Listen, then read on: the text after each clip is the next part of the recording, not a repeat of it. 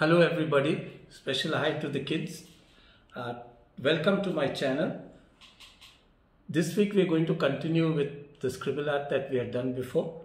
So it's going to be have a little variation. We're going to do a transfer of the watercolors or the uh, pastels or whatever we're going to do. It'll be a transfer. So just look into my paper. Today we are going to do the scribble art. I'm using white okay? Candace will be using red. I've got some small designs already put onto this just to guide me. But all you have to do is to take the scribble art uh, the white crayon put some flowers or whatever designs you want on this. Whatever you want to stay white put it onto this. Now remember if you got uh, cartridge paper it's good.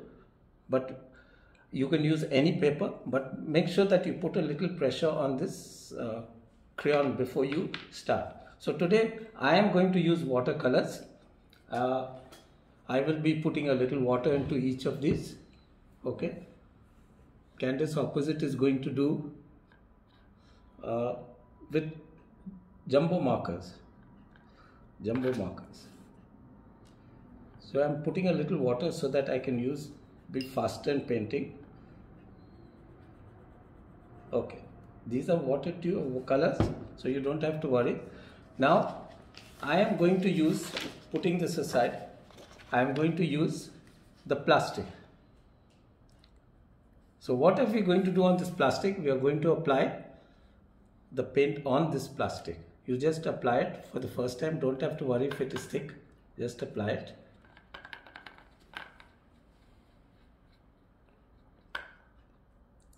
just apply the pen. Don't worry if it gets mixed up white or anything gets mixed. Just apply it onto this if you put too much of water it will not stay on the plastic. So don't put make the paint too thin.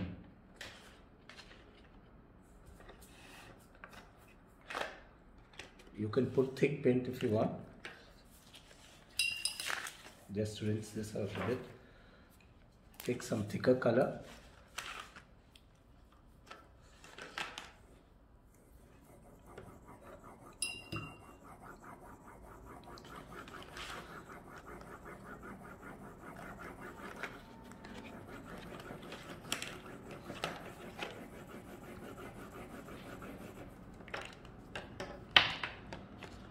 Yes, Candice, you can put more.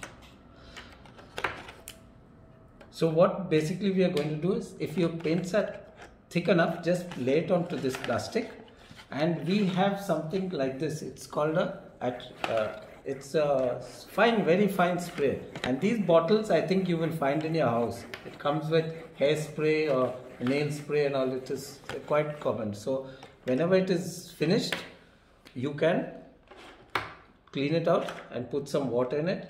It's a mist spray. So you take a little bit of this if the paint is too thick and just mist your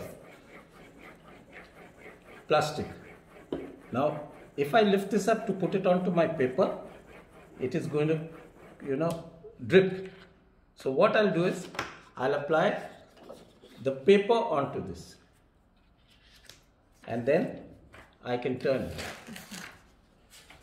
Now this is just a variation. Now you see it's got color here but I am going to blend it okay? I need to blend this color so I'm going to rub it. A little practice will do some good in this. Maybe it's all will not come but you will get the effect of it. Keep rubbing it spread the paints. The more you work at these the better you will get because sometimes we don't know about the color how it will take on the paper. So I'm going to remove my plastic. Let's see how it looks. Yes we are not bad. The colors there. I can see my name. I've written my name a bit on it. Okay. If you look at the colors the white is there. But if you do dark and thicker crayons create your own design. Put a little more paint and then you can do it. So we have canvases there Let's see your. We are going to spray it Now this sheet has got jumbo pens. They got pens like this. Okay. So I'm going to wet this a bit. Let's see if it comes out well. Using this and she has made some hearts like Valentine's Day. So let's see if it transfers a bit onto that. Rub it.